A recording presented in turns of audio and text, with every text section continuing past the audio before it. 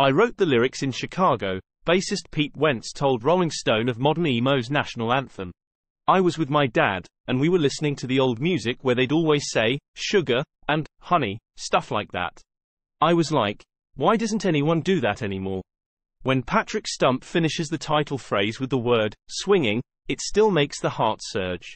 Stump told Rolling Stone that he deliberately slurred the lyrics in the song's chorus to make it sound better, saying that he was trying to do a straight punk song for fun, and adding, I saw those lyrics and just kind of barked them out.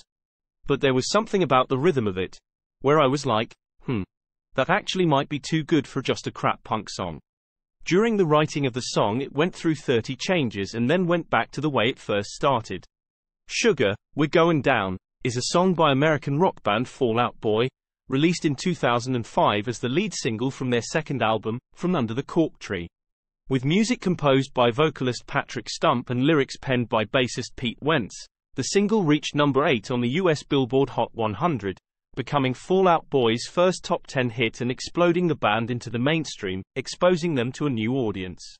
It spent five weeks in the top 10 and 20 weeks in the top 20 out of its 42 chart weeks.